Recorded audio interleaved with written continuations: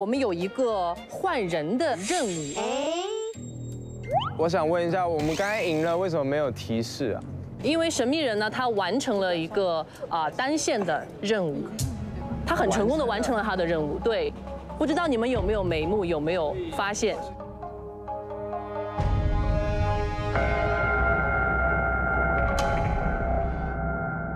这个换任务是怎么回事呢？就是你们可以跟其他队换一名外国的伙伴。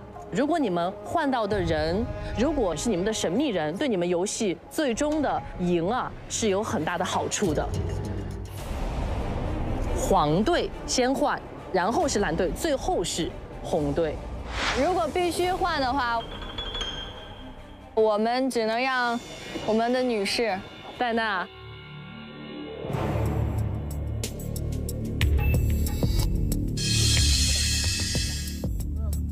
我们的神秘人线索是个男的，换飞利浦吧。OK，换飞利浦啦。对，戴娜和飞利浦进行一个交换。哎，嗨嗨嗨！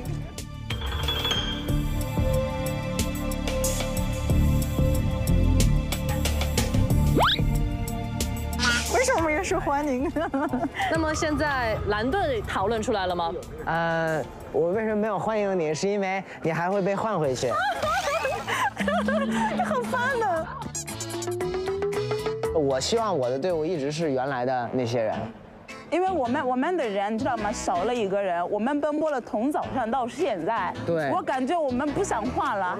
把我拿回来。换换过来吗？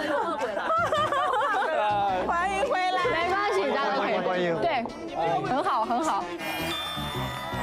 我们也不想换哎，我们也可以不换啊，可以不换，我们不换。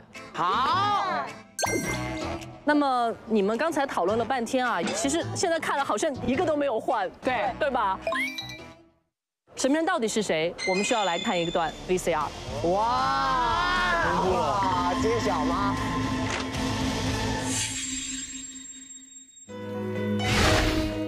我小凯。高能少年团的小伙伴们，很遗憾不能跟大家一起录制到最后，你们想我了吗？我知道一定想了，对不对？虽然没有跟大家一起到最后，但是我还是一直在偷偷的关注着大家。告诉你们一个小秘密，其实你们一直在找的神秘人就是就是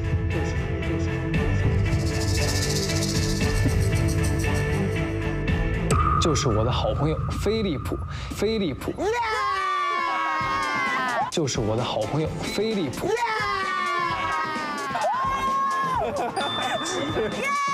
最后还是非常希望我们这次的成都之行能够让更多的人喜欢上我们中国的汉字文化。兄弟们，让我们一起喊出我们的口号：倡议行，少年燃，高能少年团，加油！哇耶！我们的这个神秘人已经出现了。飞利浦是有三个任务，那么飞利浦，你能说一下你三个任务都是什么吗？第一个任务是是需要教会你们队里边的一个人成功说出一段四川话的绕口令，要不教你一句四川话？你说，死死死死死啊！死死死死死死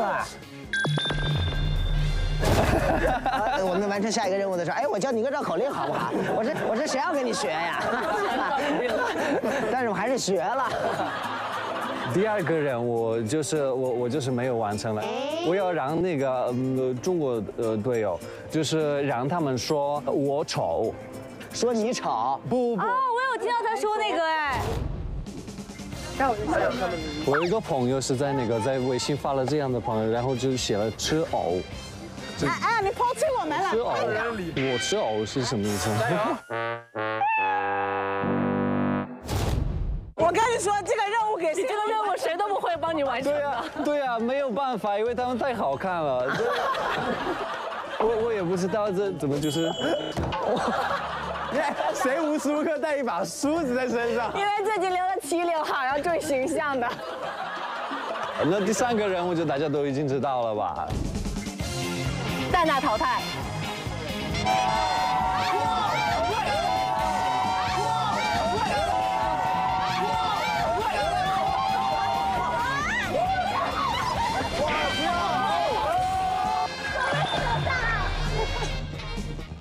为什么要推我呢？因为因为那个任务叫做深水炸弹。对，我就当你头了。